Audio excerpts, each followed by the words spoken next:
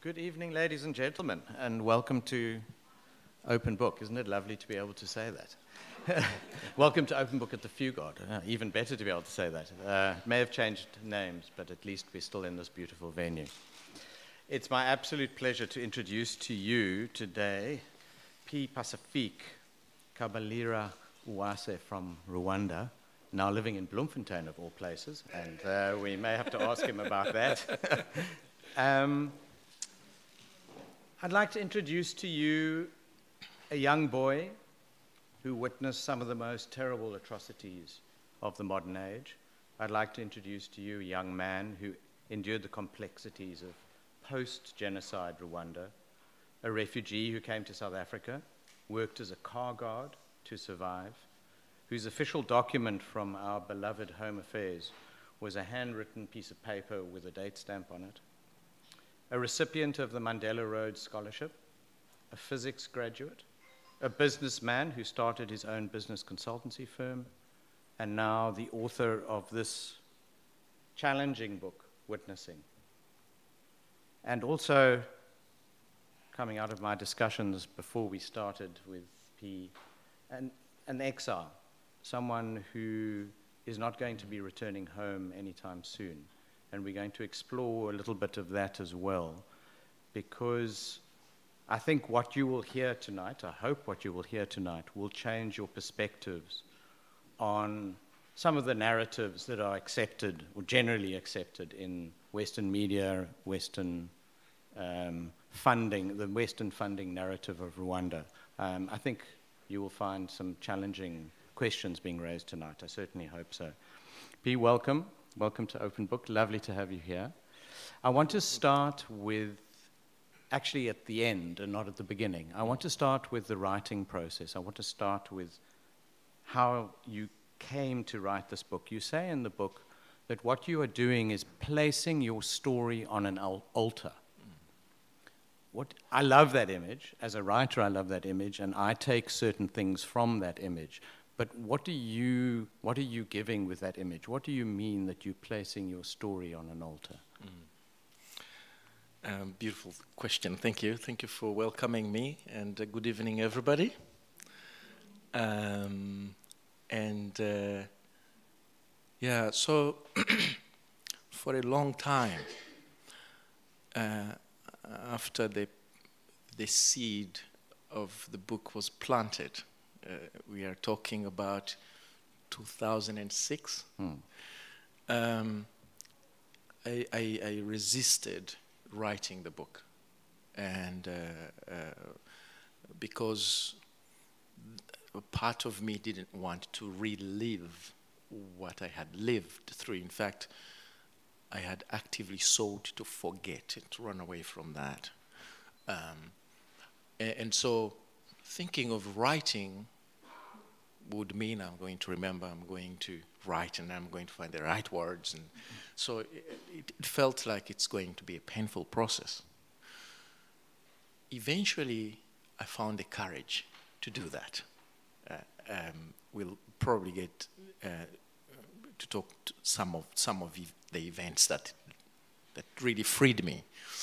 Uh, and and then my mind shifted to something else, which is people don't want to be reading this.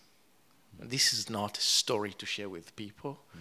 And, and, and I was thinking that it's not a story worth telling. Uh, and so uh, uh, then there is the other part that I don't know how it's going to be received, not mm. just in the world, but in Rwanda, uh, there are some attention that I didn't want on me. Uh, and, and, and so there were many factors that, uh, when combined, made me resistant to writing the book. Uh, and then I decided, you know, I'm going to write it for me. So the first version of the book was actually in the present, in first person. I am here, I'm doing this. I wrote it as a journal. Uh, and then, uh, after about 700 pages, uh, I gave it to uh, uh, an editor.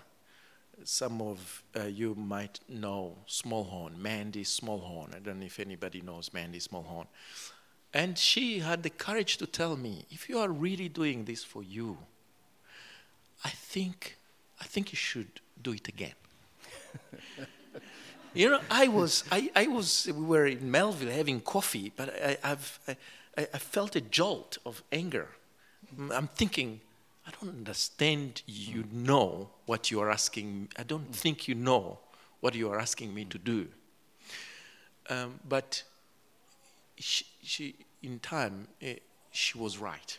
Uh, I, I got, at some point, I went back to it and then I wrote a whole paragraph in the past. And for the first time, I thought, oh, I can now go back to the beginning and write it as a story in the past. That was the first step that I thought, I can do this. Mm. And then eventually, I, I thought, okay, I'm going to give it. Uh, so, so, so I don't know what it is going to become. I don't know how people are going to respond to it. I don't know what kind of attention it's going to. It has already done what I needed it to do for me, and now I think it's time to let it go. And the altar was, I think, the most um, fitting place. Uh, I, I, I, have to say, it's not my words. Mm. Uh, it's a friend of mine uh, who, who was helping me to process my whole journey and said, you know, when you let it go, it's like you are just placing it on the altar and then and then it becomes what it becomes. Mm. And so I borrowed those words because it just so fitted for me. For me, that image evokes trust. You have to put it out there, and to some extent, you have to trust. You have to trust your readership that they will understand. Mm you need to trust your editor and your publisher that they have understood and have put a product out there mm. that will be understood by others. You have to trust that you've done justice to your story. Mm. But there's a huge amount of trust in placing it on, on the altar. Mm. And I hear all of your ambivalence and your hesitancy about whether this is a story you should, in fact, put on the altar. What then amazes me even more is the extraordinary honesty you make yourself very, very vulnerable in this book. Um, I know things about you from this book that I would struggle to know about myself. Mm-hmm. Such is the such is the honesty that you have put out there. Is that about you talking to yourself? Is that because you are telling others about yourself? What what's the motivation? Well, what motivated that level of honesty about yourself in the book? Mm. Um, so some of the events that have helped me to release myself and, and, and go completely uh, free uh, with it. There are some of them, there were experiences like one that I described where nothing mattered and everything mattered at the same time. There's, there's a chapter where mm. I'm actually talking about somebody helping me to process one of the memories. It was, it was Briggy um, in a training that absolutely had nothing to do with what she was doing with me. Mm. Uh, and, and, and, and when she saw the opportunity, because she's so trained, she said, let's trust me, let's do something with it. Mm.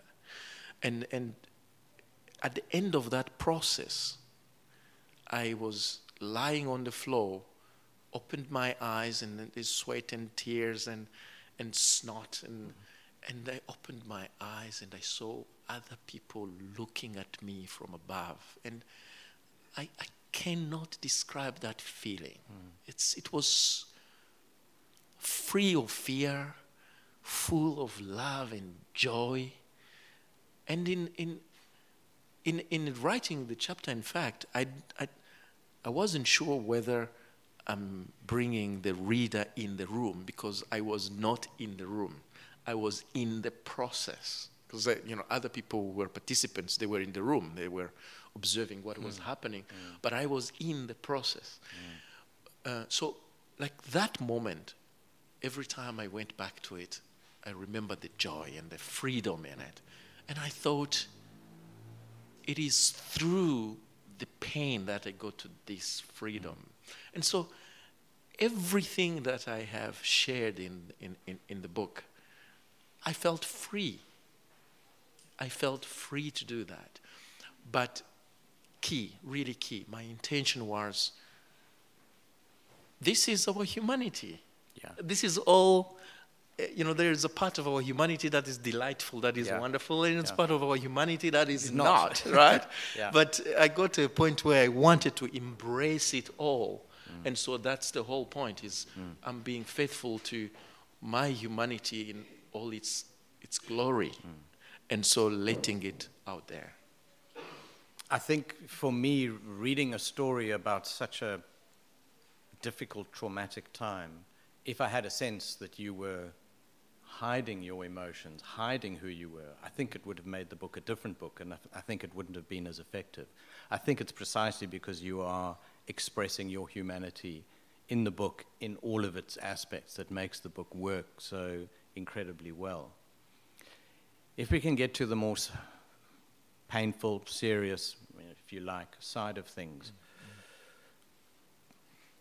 These kind of historical events, if one thinks of Second World War, Nazi Germany, if one thinks of the Bosnian War, if one thinks of the genocide in Rwanda, there's certain questions I think that come to all of our minds, and for me, there are two basic questions that, that, that come up.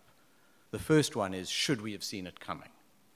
And I think that you know, that's a question that has been asked recurringly, and certainly in, in Nazi Germany, should one, should our families have left? Should we have known that it was coming? And you gave an interview in the Huffington Post, and you said in that interview, you didn't know when it was going to start. Now I know I'm a lawyer, and I can be very painful as a lawyer. So, but am I overanalyzing that statement to say?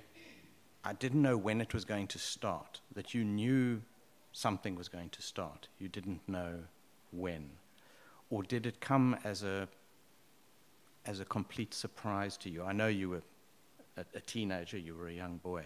Um, but did you have a sense that something like 1994 was coming? So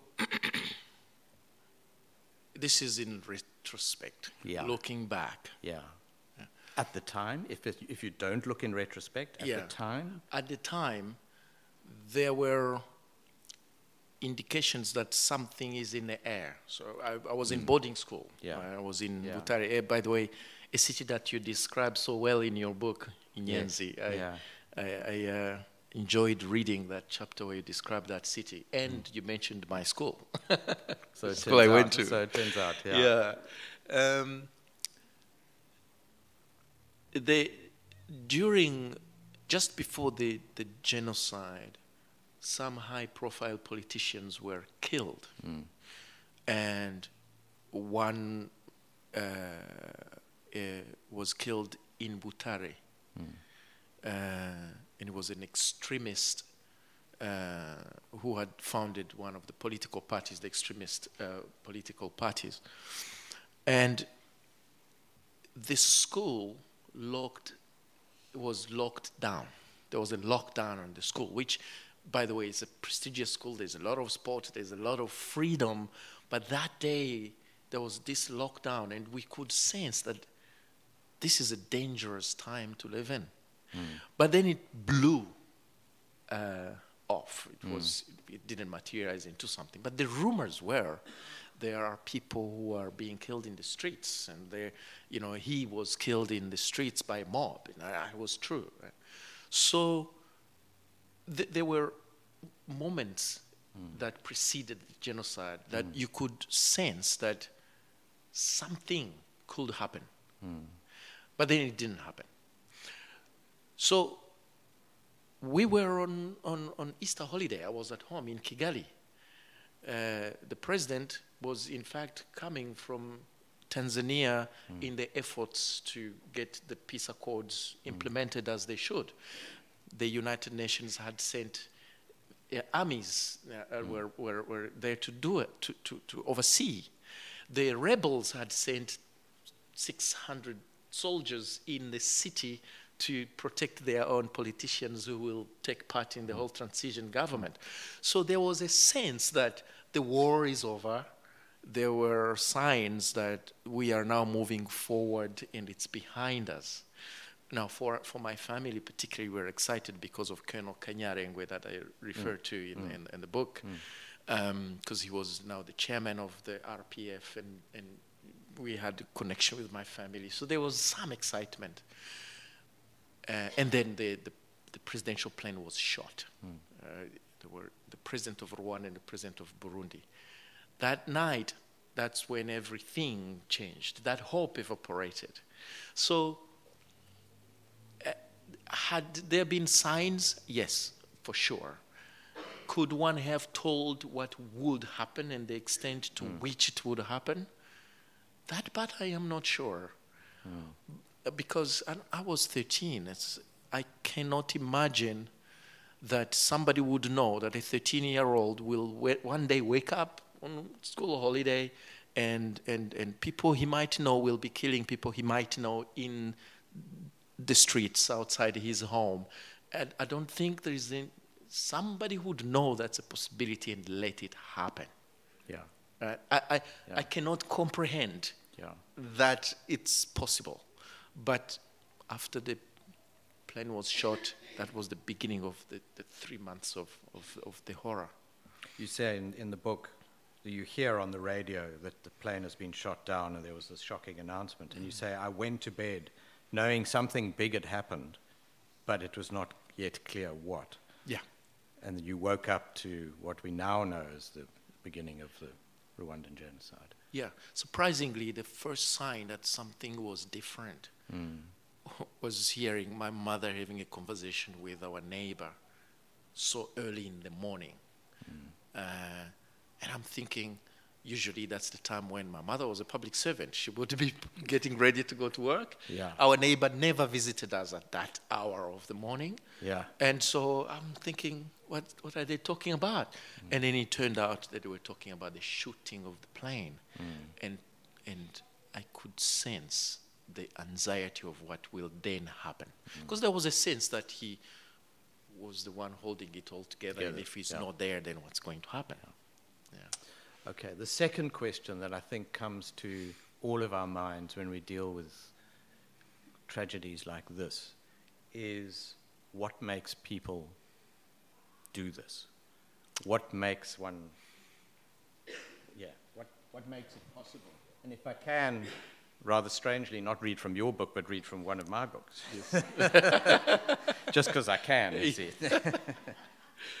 um, so this is a book about the Rwandan genocide as well. And, and right at the end, after it's all over, um, the main female protagonist is, is, is walking. Um, and she's, she's in, the, in the fields, walking with her child in Rwanda. And she says, An older man stands beside the road, leaning on a hoe. Selina nods towards him and he greets her. Where had he been, she wonders, looking at his worn face. Where had he been when the killings took place? Had he been one of them? Had he slaughtered and maimed? This man standing quietly on the side of the road. She looks into the fields at the men and women working there. Were they killers? What did they do when the genocide started? Does a killer look any different from anyone else? So, my question to you is your, having lived through it, your sense of that question are we all capable of it? Are we all capable of atrocities put in the right or wrong circumstances? What's your sense of it, having seen it unfold? So, part of our human condition, mm-hmm. uh, I think uh, we, we, we make choices Uh, from within, but there is a lot of factors outside of us that sometimes trigger either fear or frustration or whatever it is. And one of the things I'm learning is, unless we are aware of it and let it out or deal with it, it, it in some ways, at an individual level, it's going to come out at the wrong time, in the wrong way, with the wrong people, mm. and, and sometimes in ways that we don't like. And so,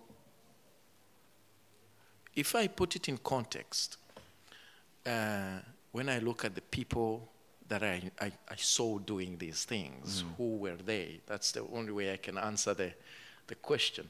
One of the people I talk about is this builder Yeah. who was, in, who was renovating our house. I know him as a, as a child because he taught me how to lay bricks. Uh, he taught me and my brother how to, to lay bricks and, and play cards. And he was very kind.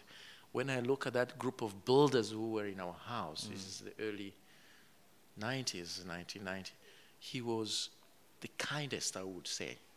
Then they completed their job and they left. 1994, uh, he was part of a mob. He was the only one with a gun. He was the one who was going to kill people. And I saw that it was him. The same fingers that taught me to lay bricks were the fingers pulling the trigger to kill the people. And what had happened to him to put him, f- to cause that transition?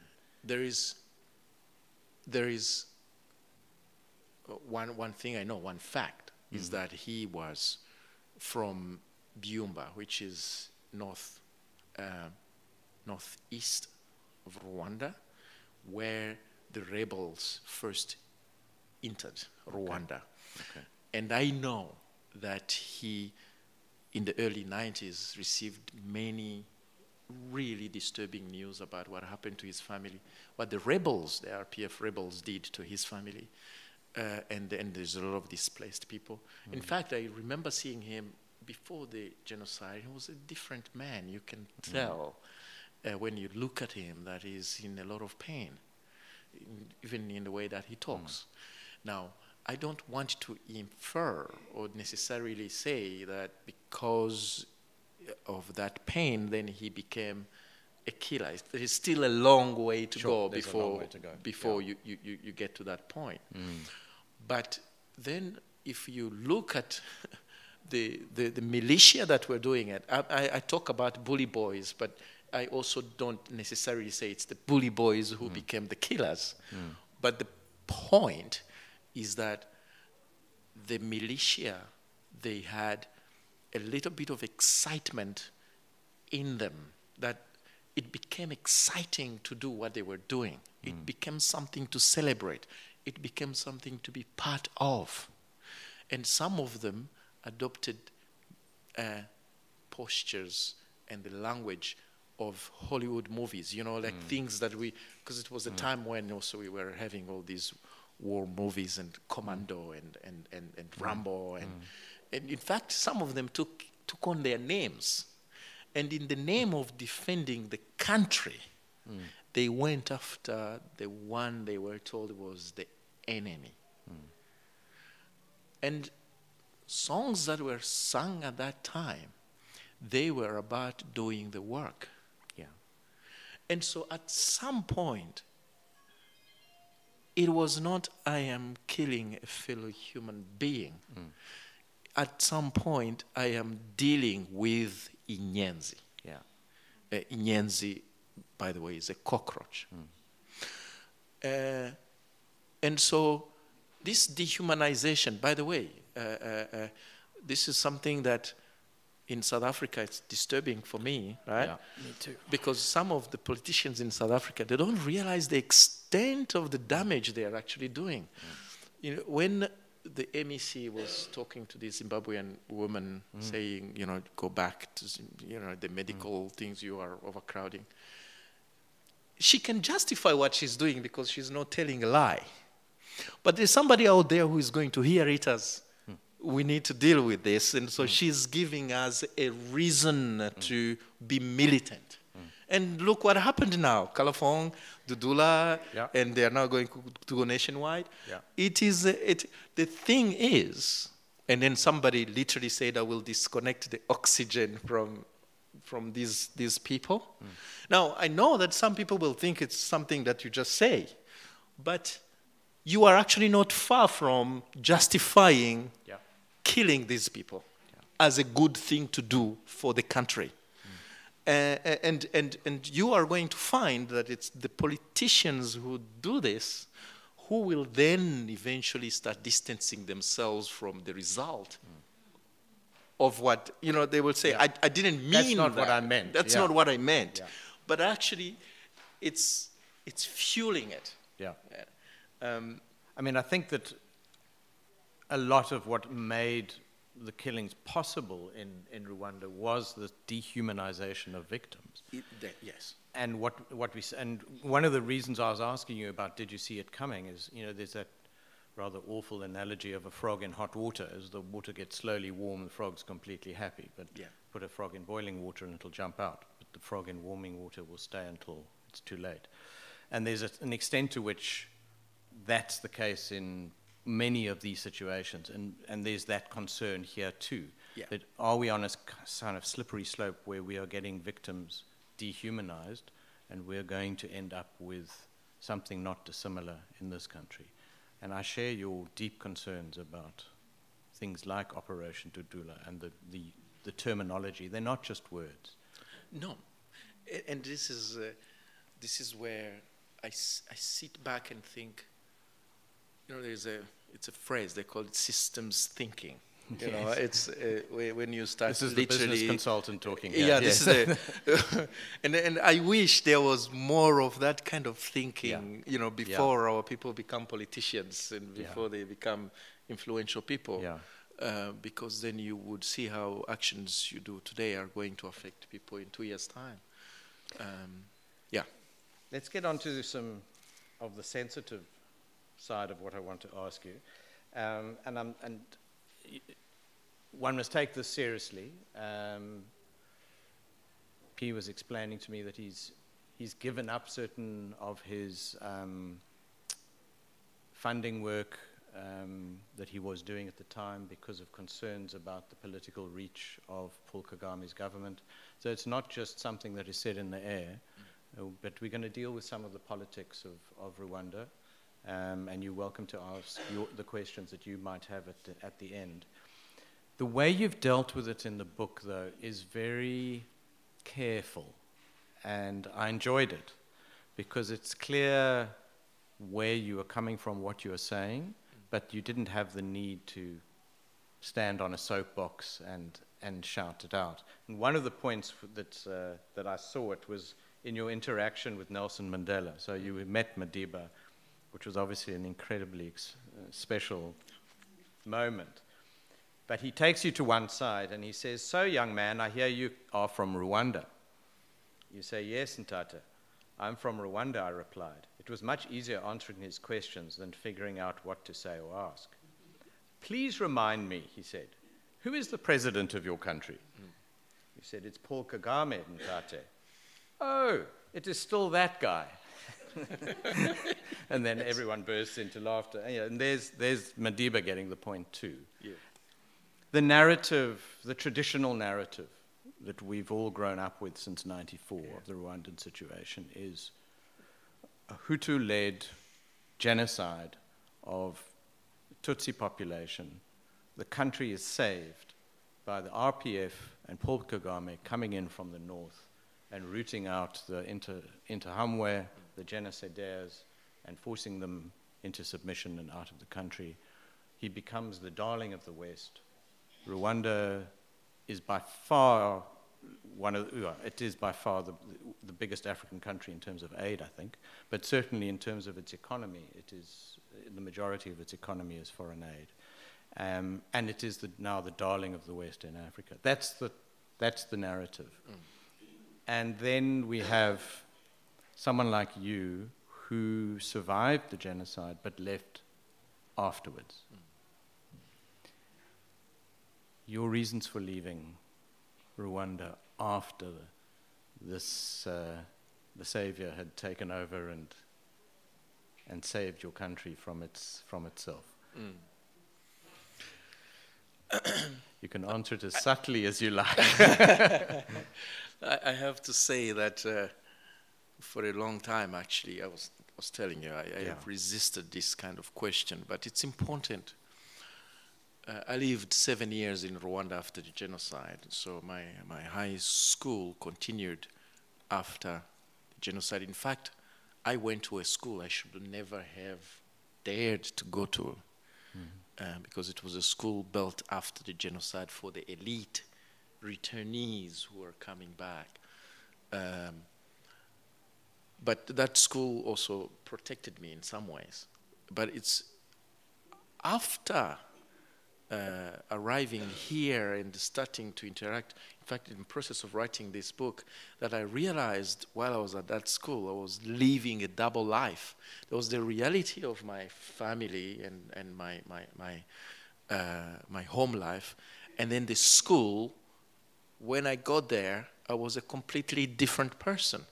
So much so that once I was having this conversation on, on, on radio here, John John Maitland, John Maytham, right? Yeah, Nathan. Yeah. And and and one of my schoolmates uh, got hold of that um, podcast and shared it on a WhatsApp group. I actually write it, you know, Yeah, about in, in the, the book. book, yeah. Shared it on a WhatsApp group and said the situation was precarious in, in, in 1998, in, in, in 2000. What do you mean? Uh, it actually dawned on me that it is true that they didn't know. Uh, so, for the first time, I shared with my schoolmates the reality of my life in the late uh, 90s. Um, uh, my, my mother being held for five months without, without charge or trial. My uncle literally disappearing for years.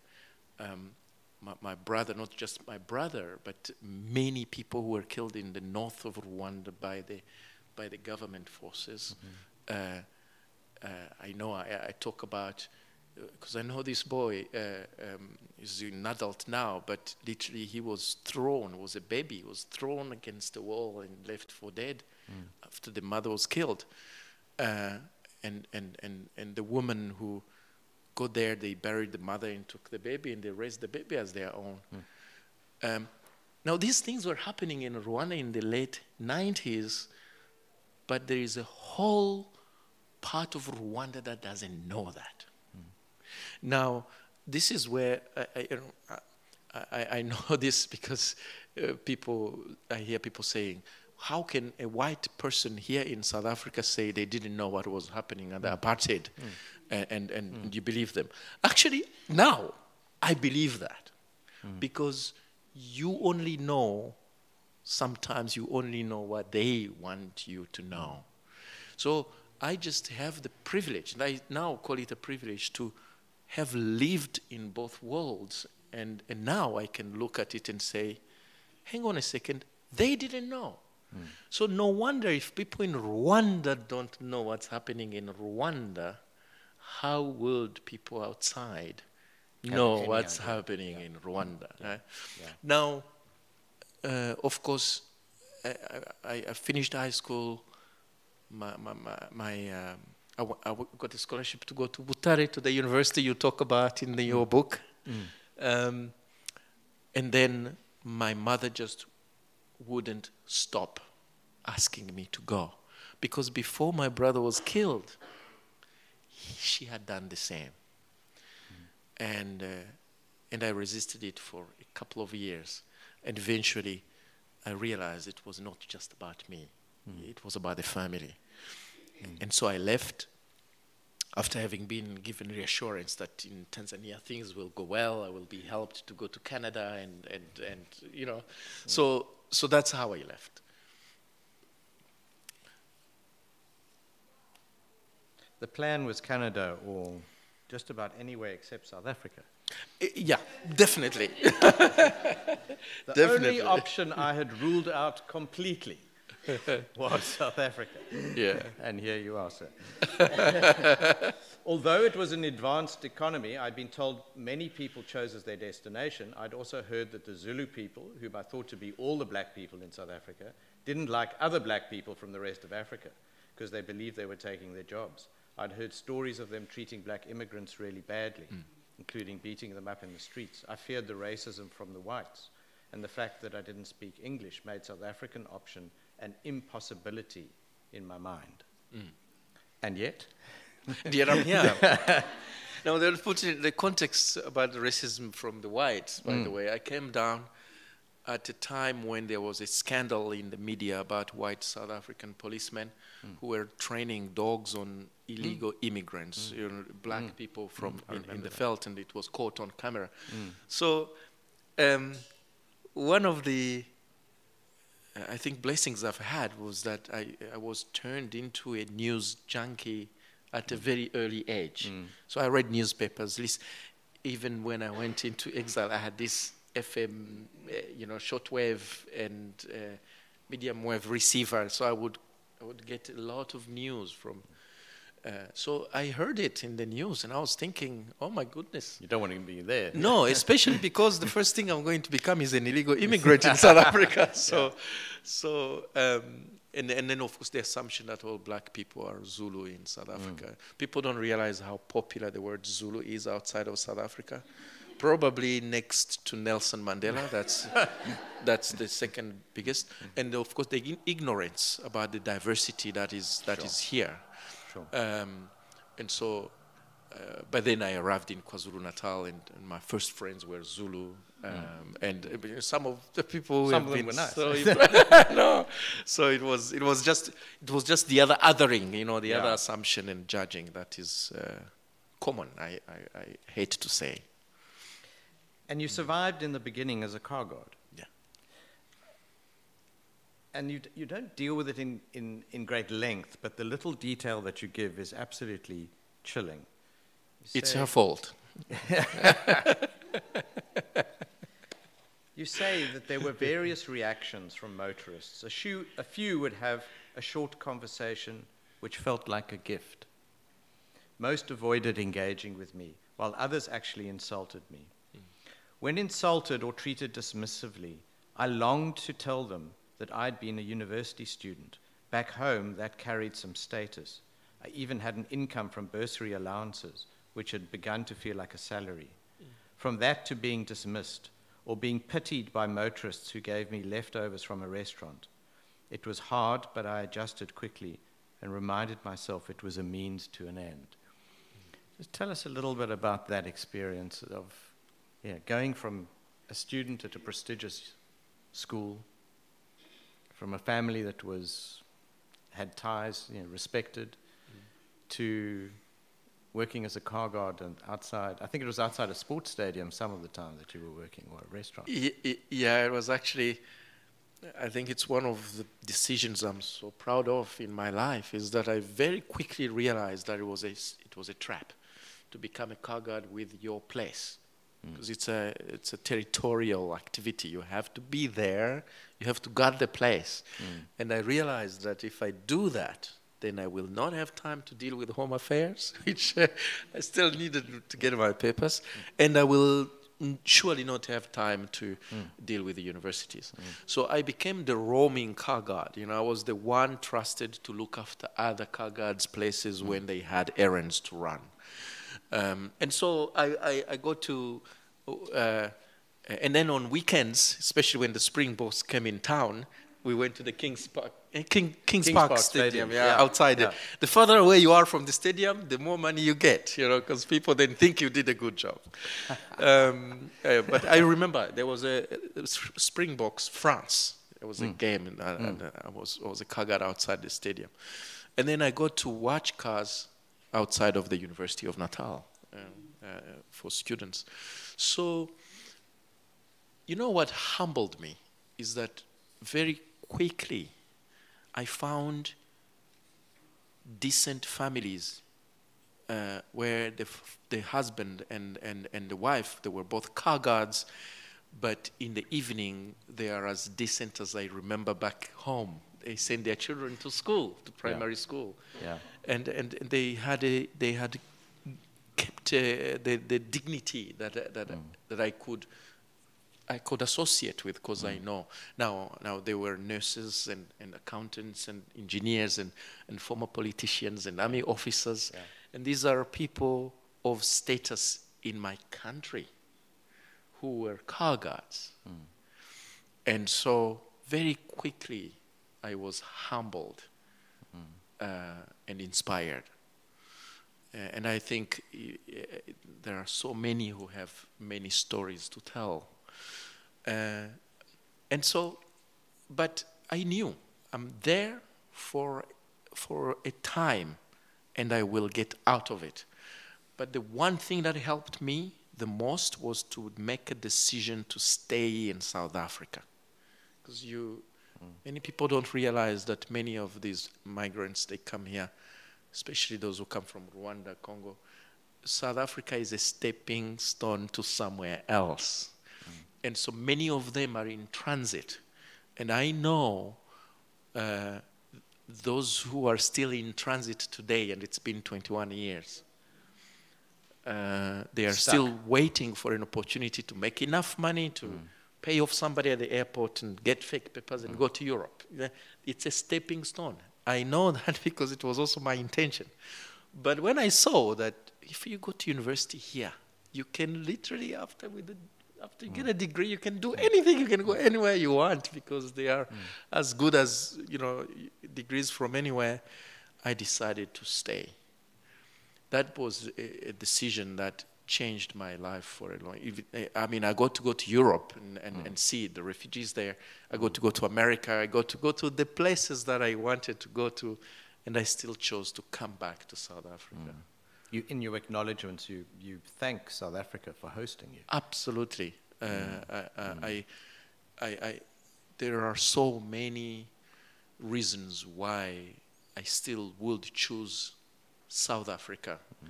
Uh, and now, of course, I, you know, sometimes I, I look at the news and I, I we, hear we, things and I'm trust thinking, me, we all feel that. You way, know, yeah. uh, but um, I, am still here. We know that you, you, you, know, you suffer from PTSD, from one of the worst experiences in the world. But everyone in this room, I promise you, has one of the worst PTSDs. It's called home affairs. Yeah. And if you've been dealt with South African home affairs, you're never quite the same person ever again. And you know that better than anyone. But one of the things that, I, it's in fact a question that I've, I've written down for myself when I was reading your book, is exactly the point you've touched on now. Mm. One of the things that worried me in your story was the extent to which your success was a question of luck mm. and how many other P Pacifiques are sitting out there still, as you say, 21 years later, guarding cars. Mm. And how do we what do we make of, how do we deal with that? How do you deal with that? Is it luck? Was it luck in your case? so th- there is a part of it that is oh, luck, you know, mm. because, for example, by the way, I, I say witnessing because I don't only want people to witness the horrors and the, and the genocide, which, which is something to witness, sure. but I also would like people to witness the, the, the people who changed my life in that way. And, and that's where the part of luck comes in. Mm. So I remember fighting with the University of Natal to get in. Uh, I went all the way to the director of student funding, mm. said no. They sent me to fight the university finance department. No. I remember carrying a note from one end of the university to another, literally saying, this has never happened. Please it, it, um, uh, uh, consider other ways because it's mm. not going to happen. Mm. And uh, now I know it was a dream crushing note that I was carrying, you know. Mm. So I remember the, the, the lucky part is when Mr. Wills, the Dean of Student Services, says, You have a point. Mm. Uh, you actually have a point. Because we, our policy doesn't deal with you. We deal with international students, you are not one. We deal with uh, uh, uh, citizens, you are not one. Mm. So he saw the gap and he promised me to go to the council. But this is the part that is not luck. I had to get to his office. Uh, and and I, I know because there were a very good likelihood of me abandoning it because by the time I got to his office, lectures had started and I was still a car guard. I had to pay rent and I had to attend classes. You know, in fact, one of my conversations with him later on is, if you don't get me into student residence now, I'm going to drop out. Uh, and he actually laughed at that, uh, um, at my assertion, I want to say, And then gave you a reason. and then gave me a residence. right? yeah. So, So- tenacity has got a lot to do with it. So that, that is the lucky part is there is this individual called, you Yeah. know, Trevor Wills, And he sees you and for who you are. he sees me yeah. for who I am. Yeah. But the, there is a, I, I, you have to get there. Hmm. You have to do something And you have to push. and you have to push. And this is, you know, part of my work now is I'm telling them, stop being in transit. This is home, and and live accordingly. You will see what will happen. Here we're going to run out of time soon, but I just want to move to the question of healing, Yeah. a question of overcoming the tragedy. Watching people kill each other or staring at a hand on the back of a dead body were not things a child should have to witness. No matter who eventually won the war, these memories would remain. The souls of young witnesses like me would be scarred, probably for life, and the future of many children, like those beside me as we stared at men doing unspeakable deeds, would certainly be profoundly affected. All as a result of a war that someone one day would one day claim to have won. But how could there be a winner? How could a war causing so much physical, emotional, and spiritual destruction, tainting the innocence of children, and making men, good and bad alike, kill fellow men, produce a winner? Hmm.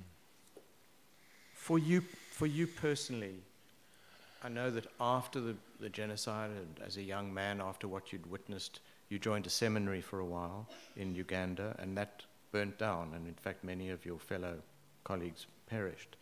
And when I read that part in the book, having read the whole trauma of the genocide, and then seeing you reach out to God and the seminary burns to the ground, where's God for you in, in this? Yeah. Do you still have a God in this? Yeah. So, well, it was the dream of seminary that burned down. It's the whole uh, group, the whole movement that burned down, and with it, of course, it was the whole promise: I will go to seminary. Um, uh, uh, that at that moment, that's when I decided that there can't be God in the way I have been taught. Uh, God, that, the, that this God cannot be, exist. Because the God of good, the God that saves, the God that loves, the God cannot be. Because the people who burnt down in that church, I had sung with them, I had prayed with them, I had worshipped with them, and for God to do that to them. And then I went back to my, my Rwandan experience. Um, it was here in South Africa when I embarked on this journey of healing uh, that I realized in that too is God. Uh, it's because I had this fixed idea of what and who God is that when I was met with the complete opposite, I rejected God. Uh, but when I let go of my attachment to what God should be, then I find God in every place that I have lived through. Uh, uh, and and it took me a long time to be able to say this, but at some point, I revisited some of the memories and I saw something beautiful, however small, in the scenes that I have witnessed. Uh, and uh, I, I saw, for example, a militiaman, one of those in Interahamwe, saving a child. Now, the way he did it was so violent that it just blended in with that violence. It's only afterwards that I realized I saw that child's family being killed and that child was not there. Now, I don't know if this child survived, but I remember this man saying, What is this thing doing here? And shook the child and took him away. And I remember meeting him moments after without that child. now, sometimes I sit and I'm thinking, I saw that. What do I do with it? What led this man not let this whole scene unfold and let the child be shot by, by mm. the militiamen like he was shooting these people? Because he could have.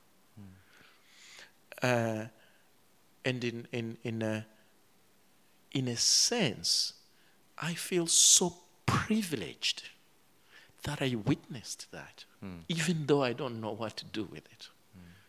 You know, the, the, the, the man I saw being killed in, from the church, there is an altercation that I witnessed. Mm. Later on, I learned that one of the men from the church was not Tutsi, he was a Hutu man.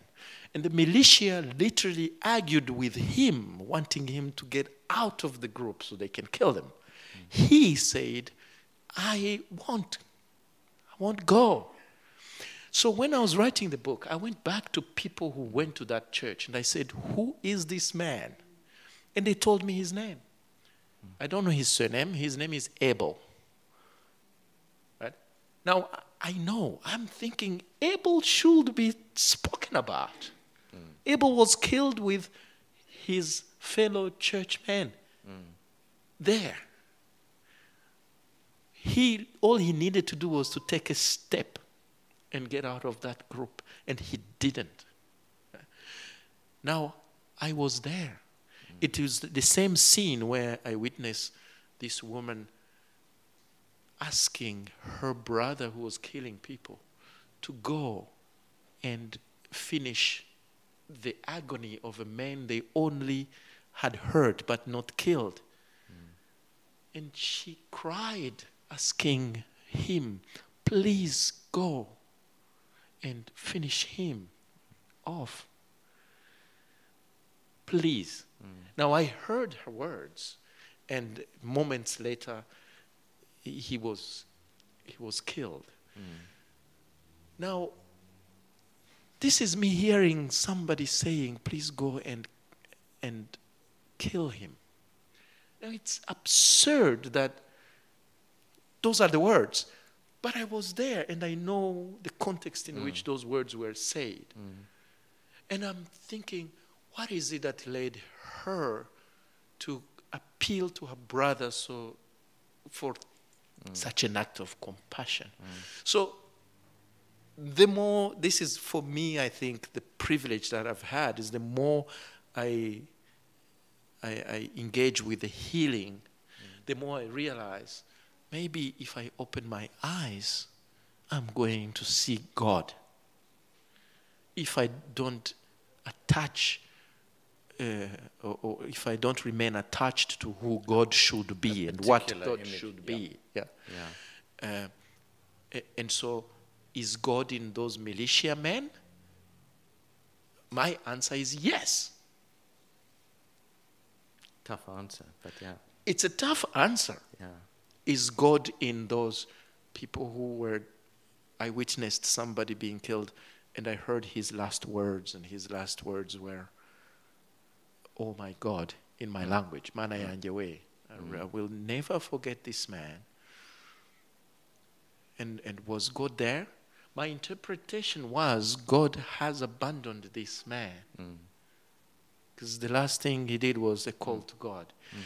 And the, the event that I write about, one of the, the, the, really intense processing moments that I had, was where I got to meet him again and met the soldier who shot him. Mm. And, and for both, I could feel the same thing mm. their presence. And, and I think the, the point of healing in the book that is so strong is that point where. Yeah. You, you, at, the, at the beginning of our conversation, you were talking about it. You were lying on the, on the ground. Mm sweating and crying and shouting no and, and revisiting that image of that murder and each time shouting no mm. and eventually saying yes. And at yes. that point, I suppose it's an acceptance or an understanding. What, what is that yes that then allows you to heal so many years later?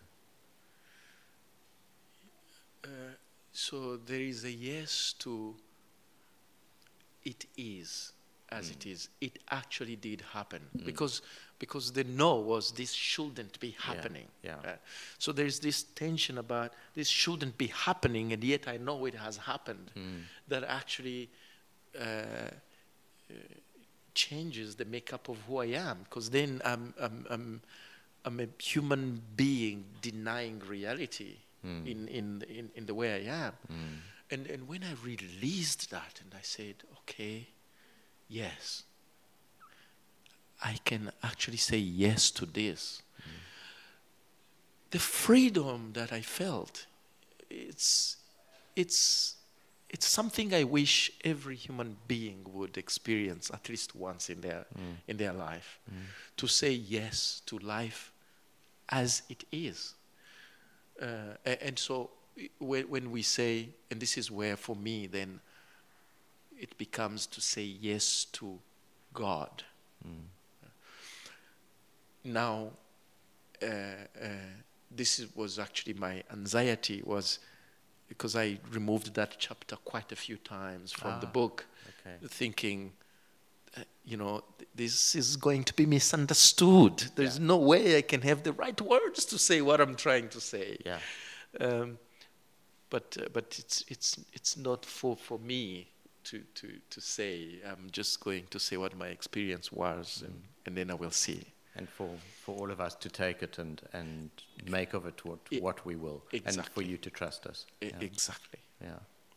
I've been very selfish, ladies and gentlemen. I'm very sorry, but I'm too far too engaged in my conversation with P to let you ask any questions. But you've got three minutes if anybody would like.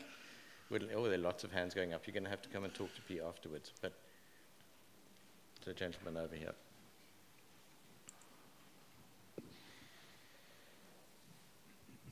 Um, I'm sorry, I'd normally um, pass my question over, but I'm working for News 24, so I have to ask a question. Um, I find it, you said uh, you po- postponed the, the writing of the book for years and years. When you did sit down to write it, what was your process in terms of like, you must have anticipated that PTSD triggering so many things would come back whilst trying to write it.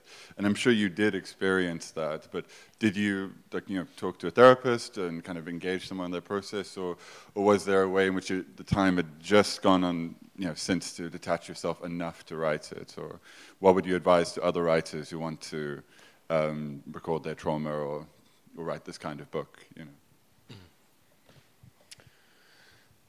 So so I, I have to mention this because it's really important because people say you must write your stories, you must tell your stories, mm. but writing is a privilege that not many people actually have. Mm. Because for a long time, actually, one of the major reasons why I didn't write is because I didn't have the time to do that because life was happening. You know, I needed to take care of my family back home. I needed to earn a salary. I needed to keep working, right? So the time to to to to write uh, didn't come until Jules Newton, bless her. Um, I worked in her company. She taught me well. I made enough money. They didn't pay me all at once, and I saw the opportunity. They would pay me a little bit every month, and I wouldn't have to worry about it, about income, right? So that was the first first thing because it takes time. And even though, even when I took that sabbatical and I stopped and decided to write, I thought I will leave on Friday and Monday I will start writing. It took four months before I wrote the first words on, on, on, on, on paper. Uh, and, and so, uh, and then I got attached to a way or a place or a, you know, like, because I, I had this idea of what a healing process or writing for healing should look like, and none of them worked. Um, uh, it's then until I said, you know what, maybe I shouldn't write a book, I should just write a journal. And that's how it started. But uh, I have to mention two um, uh, things. One is the first time I ever told my story to other people uh, at a, an AVP uh, uh, workshop, Alternatives to Violence uh, project. Uh, it was the first time that I felt I am worthy. With my story, I am worthy. And that was important for me. And then I did other uh, uh, life skills training programs, including one called More to Life. Some of you would know.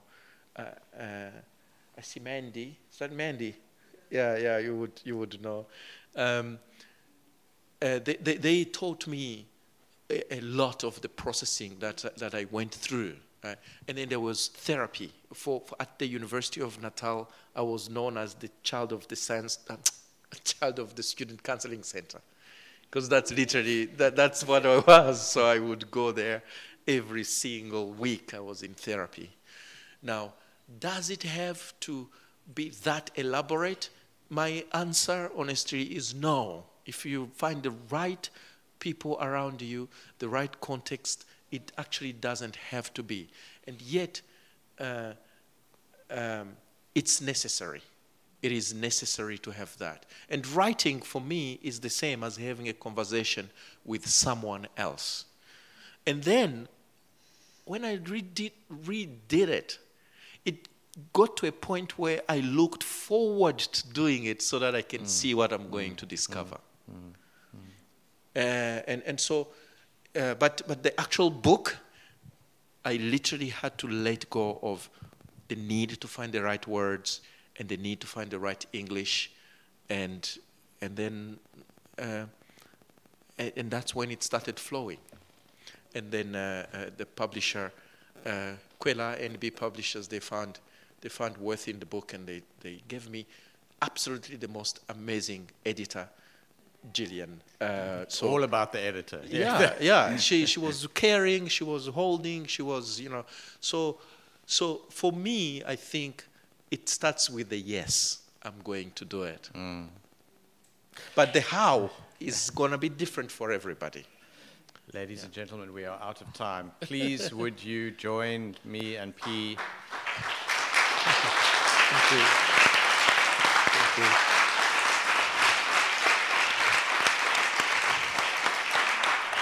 We're going, we're going to go next door to where the books are sold.